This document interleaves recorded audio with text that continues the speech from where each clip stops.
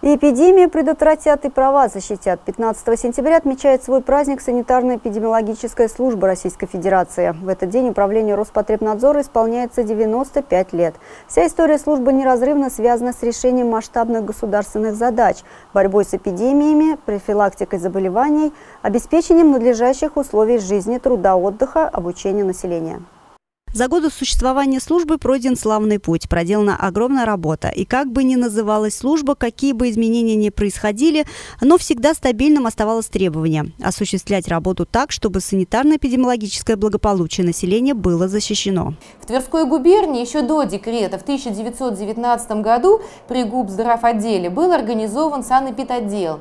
В области в то время работало 7 санитарных врачей.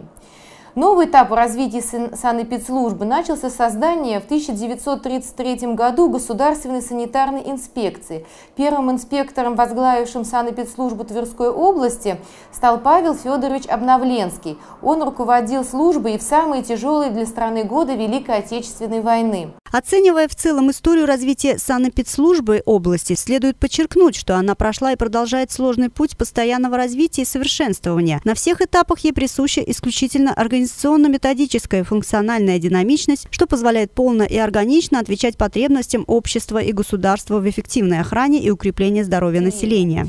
Работа специалистов многогранна. Осуществление федерального государственного санитарно-эпидемиологического надзора и федерального государственного надзора в области защиты прав потребителей, установление причин и выявление условий возникновения и распространения инфекционных заболеваний, массовых неинфекционных заболеваний отравлений, организация и ведение социально-гигиенического мониторинга, проведение социально-эпидемиологических экспертиз, расследований, обследований, выдачи санитарно-эпидемиологических заключений и лицензий. История санитарно-эпидемиологической службы продолжается сегодня, как и 95 лет назад. Ее специалисты, сотрудники Роспотребнадзора, санитарные врачи, эпидемиологи, дезинфекционисты стоят на страже нашего здоровья и нашего права на благополучие.